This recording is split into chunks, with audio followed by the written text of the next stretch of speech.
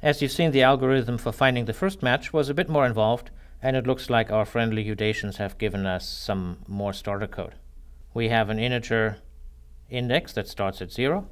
We have the boolean variable to keep track of whether we already found a match. Now, we have to keep looking while what? First of all, while we haven't yet found a match, and while we'll still have a chance of finding one. Now i is the index. We need the actual picture at that index. Here it is. We need to check whether it's a match. It's a match if it's taller than it is wide. Now if it is a match, then we set found to true. Otherwise, we keep on looking at the next position. Finally, if we have found a match, then we need to draw it. Where do we find it?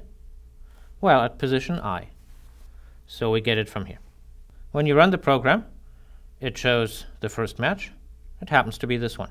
Might be nice to know what all the matches are, and as it turns out, that's actually easier to do than finding the first one. Let's see how to do that.